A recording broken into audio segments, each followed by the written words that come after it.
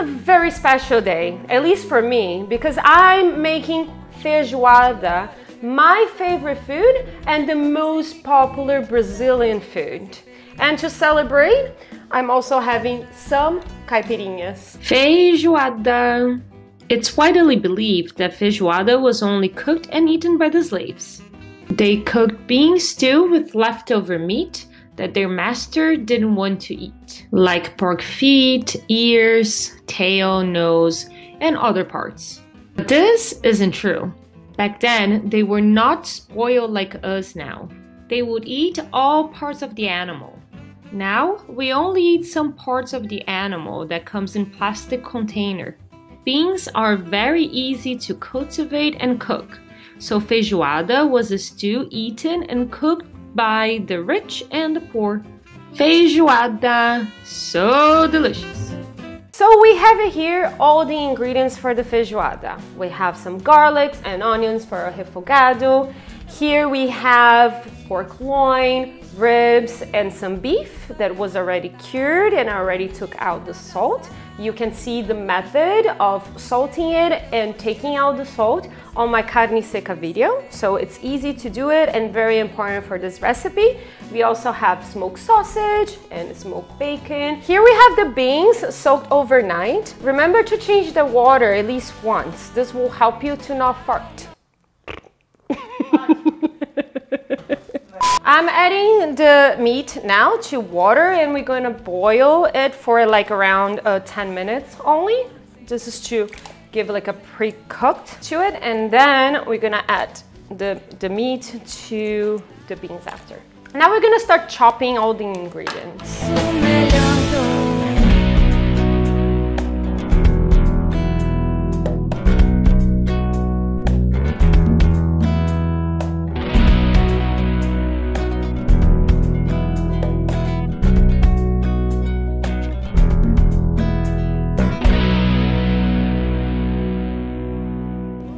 See the water is more clear and we just want to rinse this water and then this meat is gonna go to the feijoada.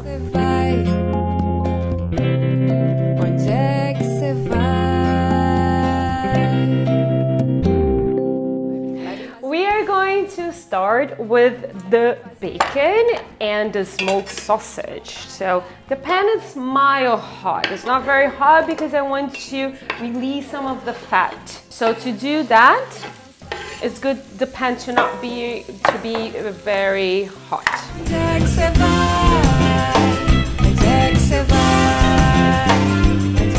You can see that it's still coming up some foam, so we'll keep scooping this off. Oh, feijoada, you are the best food in the world. It should have a feijoada song, I feel. No?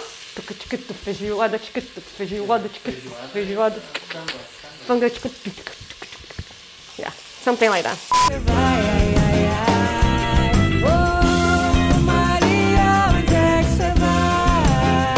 See this caramelized color on the pan? That's pure flavor. That's what we want. Mmm, smelling super nice. Okay. While waiting for that, we'll drink some caipirinha.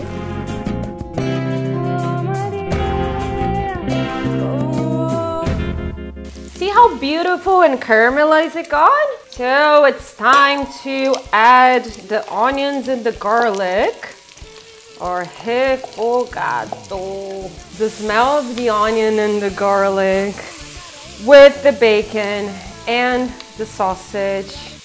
Jesus. I'm going to add all this beautiful meat that we have it over here. I have it over here about a kilo and a half of meat. So I will add around 500 grams of beans. Some bay leaves. The skin, I'm gonna add it over there as well. Add the beans once you have all your meat fried. That's it, it's quite easy, isn't it? Now I'm just filling up with water and it needs to go three fingers above. Basically, you want to cover. And this process will take about two hours.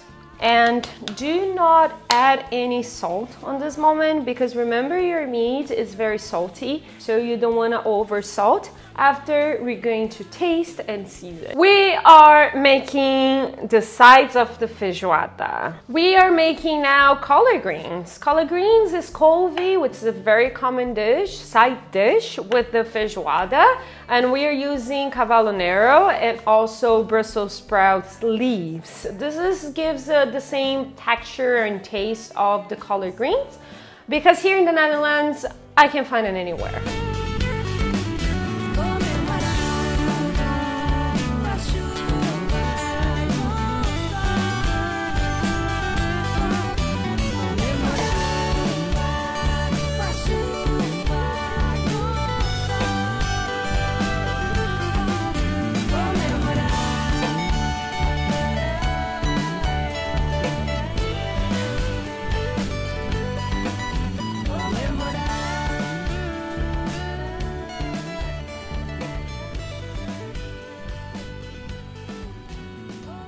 Very good. You don't want to overcook, yeah?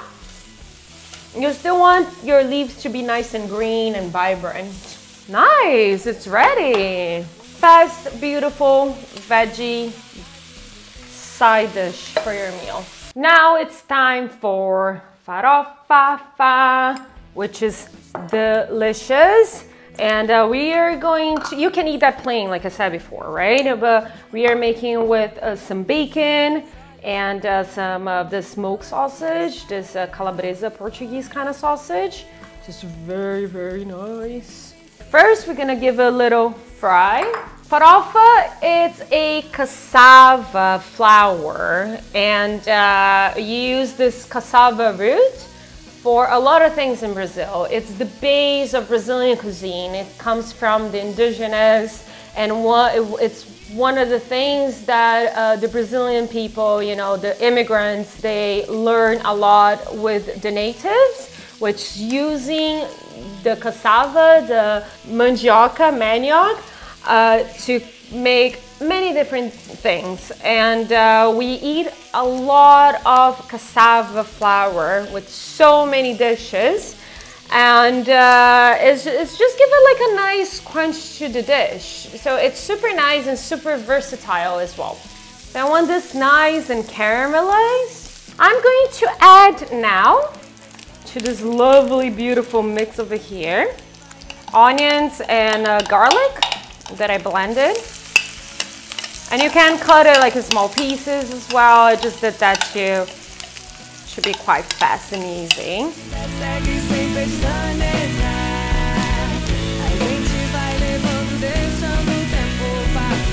And I made on the pan that I was cooking the collard green. It's not collard green, it was kale.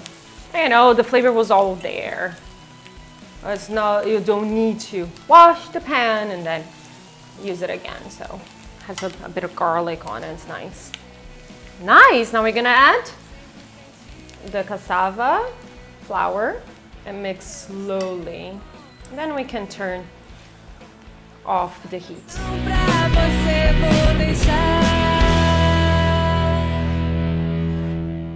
So now to complement the farofa, I'm gonna cut some parsley to go with.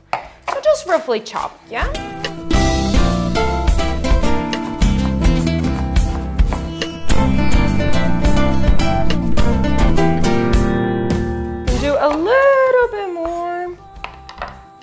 Nice. To the farofa.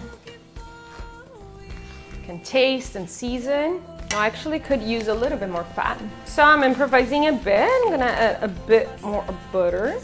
Because I want this farofa a little bit more wet.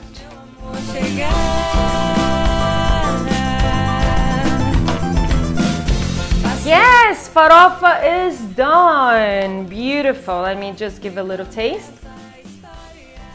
Oh God, and try to say farofa. Definitely the butter gives more richness to it. Banana milanesa. That's what we're making now. And like I said before, it's delicious. We're gonna eat with the feijoada as well. Great, I have here some peeled bananas already. I'm gonna bread that. I'm just gonna cut them in half because it's it's nicer uh, to fry, it's easier to fry and eat and all that, okay? And I have some eggs that I'm going to break these two eggs to this bowl. Mas olha que eu quando encano com uma I'm gonna just whisk a little bit.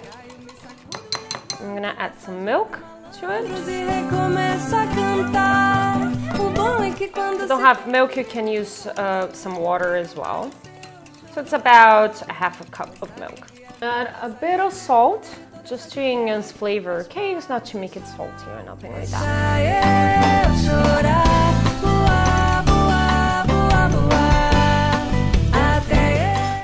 so I'm gonna add the bananas to the bowl. Take the excess out and add it to the breadcrumbs.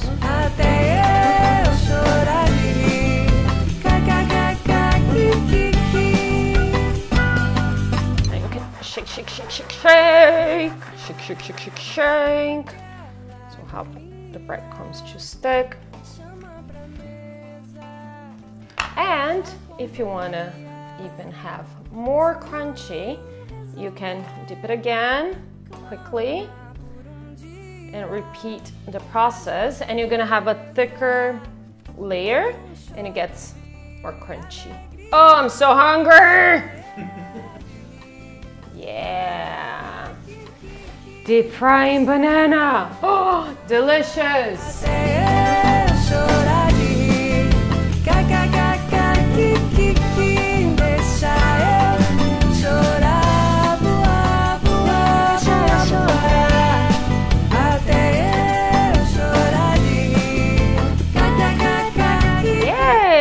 So this is the fried delicious banana that I was talking about. That's how it should like nice golden caramelized color. Beautiful, so now all the dishes of the feijoada, the side dishes of the feijoada, it's here ready to go and I have the feijoada nice and super creamy and the meat is just like falling apart so I don't want to mix too much because I want still like big chunks of meat like big pieces like that. And uh, oh now we are ready to plate and ready to eat. Can't wait. Okay so we're gonna have mm, this rice smells so nice. It goes well and should go actually with rice Rice and beans is the base of Brazilian cuisine. The kale. So many beautiful colors.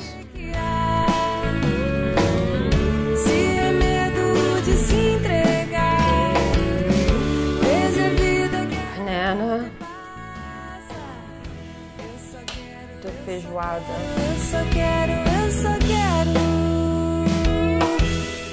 Carinha.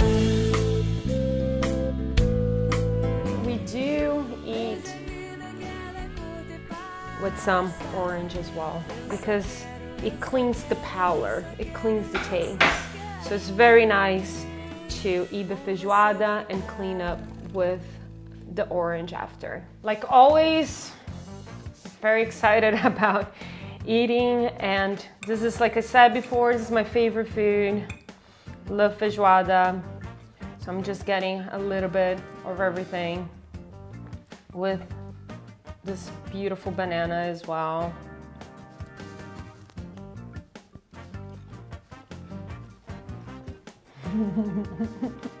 a little bit of the hot sauce.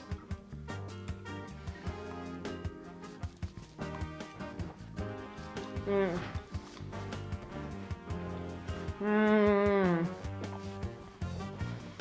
Guys, this is amazing. Thank you for watching. Like my videos, comment below, and let me know if you tried the feijoada. Thank you. Bye.